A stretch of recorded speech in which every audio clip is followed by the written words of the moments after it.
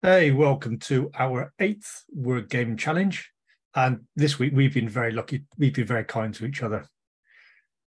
So my list is to do with daytime and stuff, and that is breaking light, mist, dew, glisten, ruffling feathers, take flight, bird song, stretch, retreat, dormouse dreams, sparkle, five minutes more, nudging noses, crack, cracked curtains, and new day. I was very kind to you. You were, you were. Mm-hmm. I was kind to you as well. mm, we'll wait and see. So mine is from Rich is based on magicians, and the words he has given me are cards, wand, close up, illusion, theatre, tricks, audience, rabbit, stage, top hat, assistant, watch, sleeve, mind reading, and props. Yeah. Well, let's get into this then. Who's going first? Oh, yeah, why not?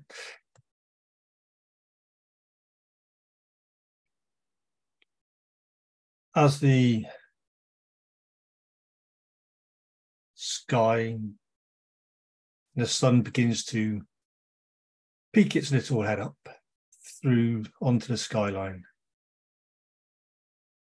it emits a warm, warming cloak of reds and oranges. It's the dawn and it's the breaking light.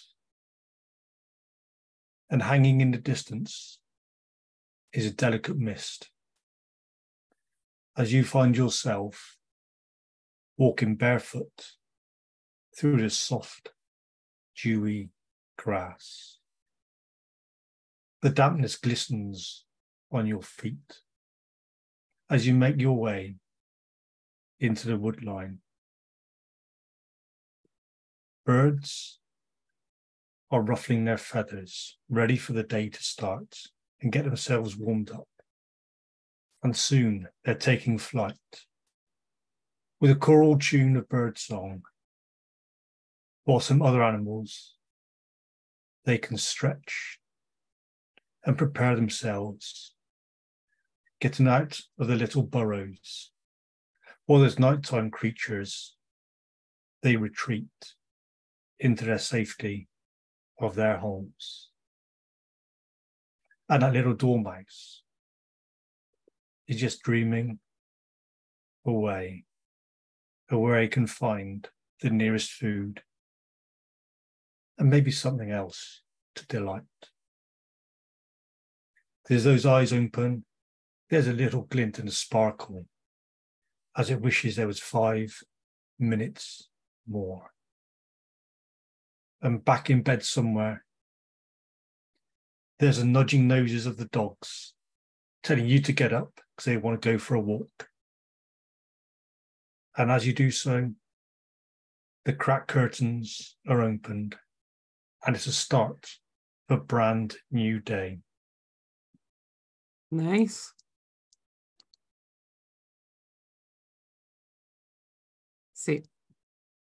I'm almost regretting that I didn't go with my original list now. That was too easy for you, Rich. So, magicians. Hmm.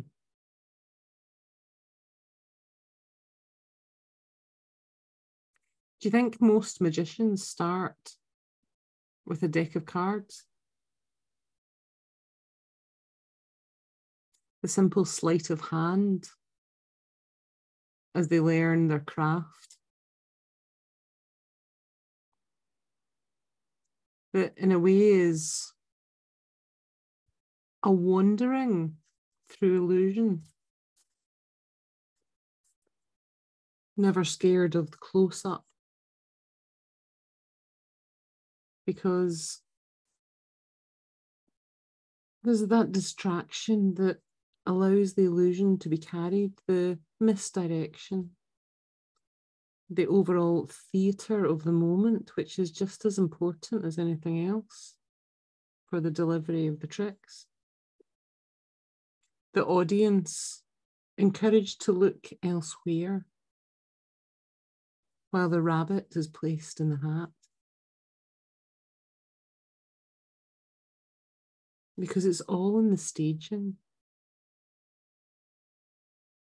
That top hat that declares to the audience that something's going to happen, that there's an expectation of something that will appear.